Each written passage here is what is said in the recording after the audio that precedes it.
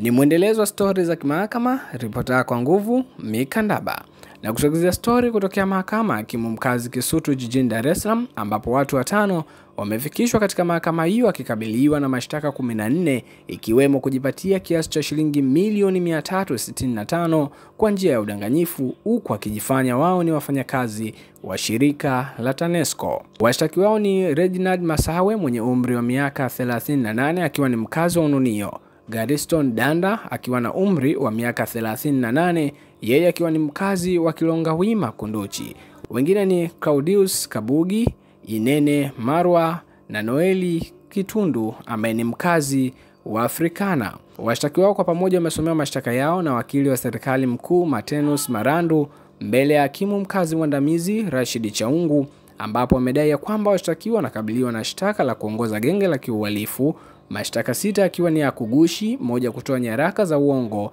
manne kujipatia fedha kwa njia ya udanganyifu.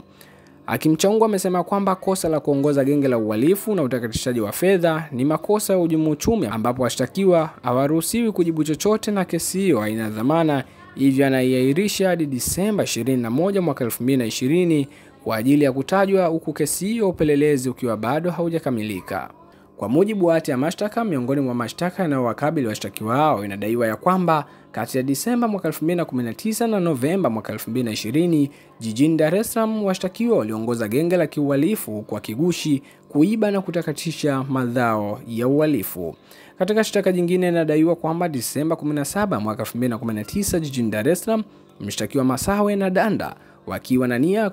wakiwa na nia kufanya ulaghai waligushi nyaraka za benki kwa kudai wanatoa taarifa za mteja huku akijua sio kweli. Katika shtaka jingine inadaiwa kati ya tarehe hizo na maeneo hayo, mshtakiwa Masawe akiwa na nia ya kufanya ulagai aligushi leseni ya biashara kwa ajili ya kuonyesha kwamba ilikuwa nyaraka ya kweli iliyotolewa na TANESCO. Kwa stori zaidi na update kama hizi, endelea kukaa nasi kupitia mitandao yetu kwenye website yetu kwa jina la millardayo.com, lakini kwenye YouTube channel yetu kwa jina la Millard